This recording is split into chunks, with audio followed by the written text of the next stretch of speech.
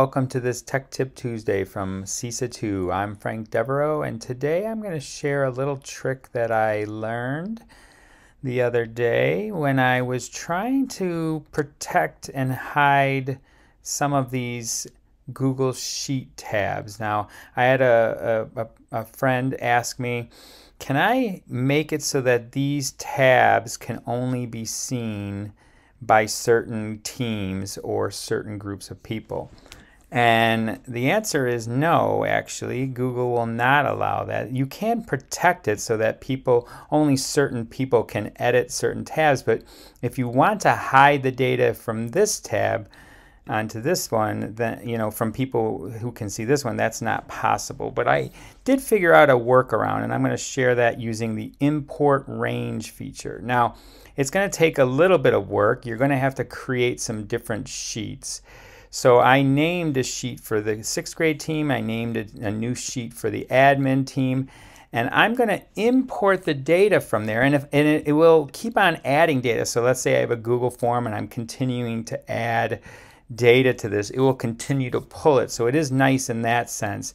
And once I create, let's say I want all the data in one sheet, but then I want each team to be able to see the data from that tab. And here's how you do it. So if you look here, now once again, it pulled all the data, but the formatting, I'd have to reformat it. So just so you know, this formatting, the the bold and the blue uh, highlights isn't there and some of the drop downs aren't there so you can see that the uh, kind of some of the formatting is lost but all the data is there and this is how I did it so I took here and I went to this and I clicked uh, a formula and I, I typed in equals and then import range and then I told it the spreadsheet I wanted it from and then I told it the tab I wanted, and then uh, the range, which I just picked A1 through ZZ. So that'd be as much data, and it'll keep on expanding as, as large as I make my sheet. So it'll look something like this. So we'll try it here. So in this top cell, I'm going to type in equals and then import range down here. And then because it's text, I'm going to hit a, quotation mark here. And then I'm going to paste the spreadsheet URL. And I'm going to close the, the uh, quotation marks. Then hit comma. Now I'm going to type in the exact name of the tab. So I'm going to type in admin team. So I'm going to, and because it's also text, I'm going to put quotation marks. And because it has a space in there, I'm going to put a single quotation mark. And I'm going to go admin admin, if I can spell, team, that's it.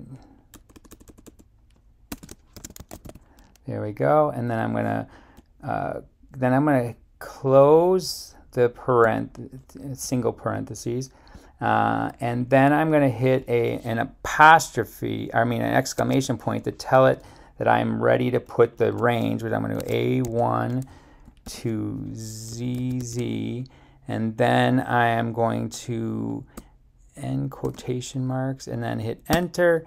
And it's going to load the data and there you have it. And now this sheet I can share with just the admin team and this team I can share just with the sixth grade team. And as I update my spreadsheet or if they're filling out Google Forms then it will automatically update and then theirs will update automatically. You'll see here if I go to the admin team here and I put in new info and hit enter, then when I come here, you're seeing that I will have new info on there. So there you have it, import range to hide and protect uh, sheets that only certain teams can be able to view. Hope you enjoy that. Let me know.